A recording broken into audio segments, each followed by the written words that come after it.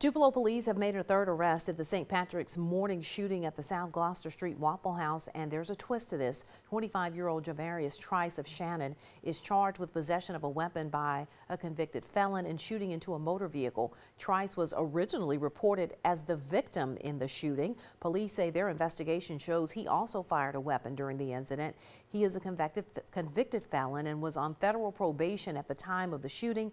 His bond is set at $40,000, but federal probation Services will be placing a hold on him and likely issuing a warrant. Tupelo police have made two other arrests in this shooting, and they're still searching for Courtney McHale Jamison.